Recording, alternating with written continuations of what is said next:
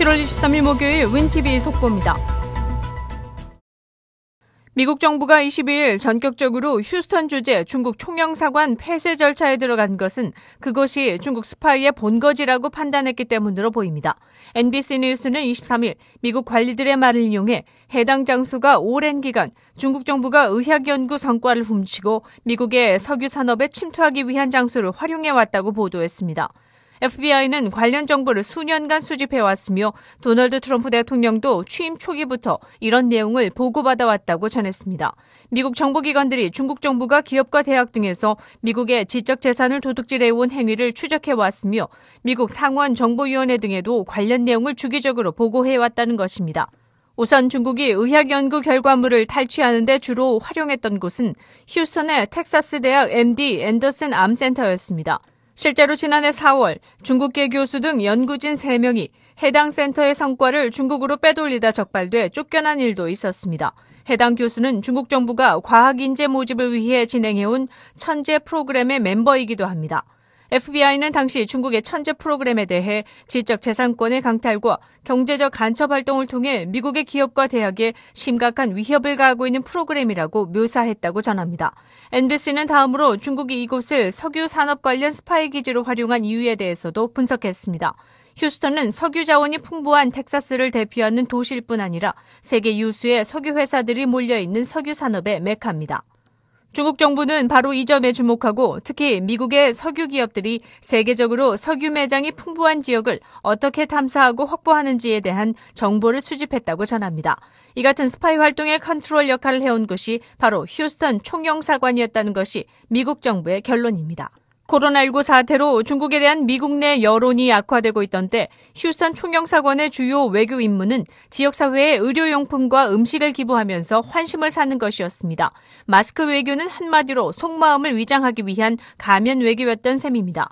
스티웰 미국 국무부 동아시아 태평양 담당 차관보가 휴스턴 총영사관 폐쇄 결정과 관련해 이곳이 미국 내 연구 결과 탈취의 거점으로 파괴적 행동에 관여한 전력이 있다고 말한 것도 바로 이런 사정 때문으로 보입니다. 국무부가 텍사스 휴스턴의 중국 총영사관을 72시간 내에 폐쇄하라고 요구한 가운데 도널드 트럼프 대통령이 미국 내 중국 외교시설의 추가 폐쇄를 예고했습니다. 트럼프 대통령은 백악관 기자회견에서 미국 내 중국 공관의 추가 폐쇄에 대해 언제나 가능하다고 말했습니다.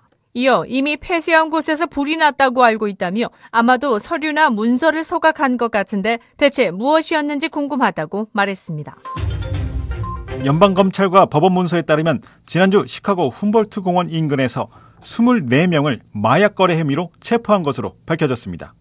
이번 대규모 체포 작전은 Operation Monticello's Revenge라는 작전명으로 2019년 2월부터 11월까지 이 지역에서 집중적으로 판매되어 온 80파운드가량의 헤로인을 추적해온 결과라고 알렸습니다. 보고 자료에 의하면 매일 7,000달러가량의 헤로인이 이 지역에서 거래되어 온 것으로 밝혀졌습니다. 아이오와의 육류 공장에서 처음 확인된 코로나 바이러스 발생은 이전에 알려진 것보다 더 심각한 것으로 드러났습니다.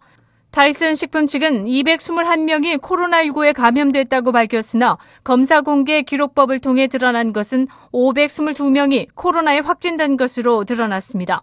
아이오와 12개 공장에서 코로나19로 인해 입원한 직원의 숫자만 1,300명이며 2명이 사망했다고 밝혀졌습니다.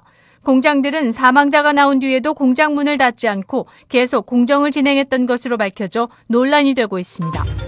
미국 보건복지부에 따르면 코로나19의 사망률은 몇 주 내로 급격히 감소할 것이라고 밝혔습니다.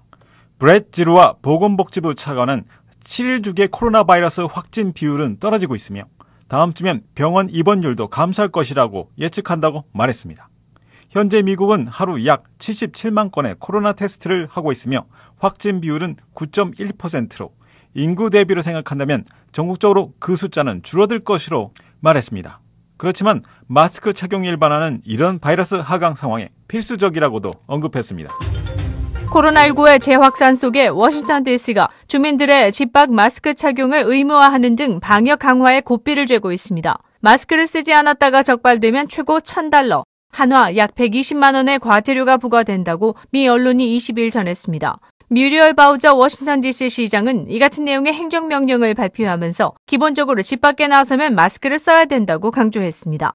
바우저 시장은 버스를 기다릴 때 마스크를 써야 하고 식당에서 음식을 주문할 때도 마스크를 써야 한다는 것이라고 덧붙였습니다. 3세 이하 아동이나 음식물 섭취 중인 사람의 경우 마스크 착용 의무 대상에서 예외가 적용됩니다. 인구 70만 명에 불과한 워싱턴 DC에서는 이날 102명의 신규 코로나19 확진자가 나와 지난달 4일 이후 최대치를 보였습니다. 코로나19가 2차 유행의 조짐을 보이자 미국의 여러 주에서 마스크 의무화 조치가 도입되고 있습니다. 그동안 마스크를 쓰지 않고 돌아다녔던 도널드 트럼프 대통령은 최근 마스크 착용이 애국이라며 이에 찬론을 폈습니다. 이에 대해 앤드류 코머 뉴욕 주지사는 트럼프 대통령을 향해 대통령이 다음 조치를 취해야 한다며 전국에 걸쳐 연방정부 차원의 마스크 착용 의무화 조치를 실시하라고 촉구했습니다. 7월 23일 목요일 코로나19 현황입니다. 미 전 지역 확진 414만 9,220명, 신규 확진 4만 8,345명, 사망 14만 6,930명, 하루 새 신규 사망자 수는 747명이며 지금까지 완치된 사람은 196만 1,011명입니다. 일리노이주 확진 16만 6,925명, 신규 확진 1,624명, 사망 7,367명, 하루 새 신규 사망자 수는 20명입니다. 다음은 시카고를 포함한 카운티별 코로나19 현황입니다. 시카고 확진 5만 8,080명, 사망 2,743명, 쿡카운티 확진 42,715명, 사망 2,067명, 레이크카운티 확진 11,159명, 사망 438명, 듀페이지 카운티 확진 1,627명, 사망 502명, 윌 카운티 확진 7,925명, 사망 338명입니다. 쿠카운티 주요 한인 거주지 확진자 안내는 시카고 토털닷컴을 참고해 주시기 바랍니다. 윈TV 24.5와 MCTV 24.6 방송은 공중파 채널을 통해 시청하실 수 있습니다. 코로나19 비상시국 뉴스24에서는 여러분의 제보를 기다립니다. 제보 전화는 224-283-8200번입니다.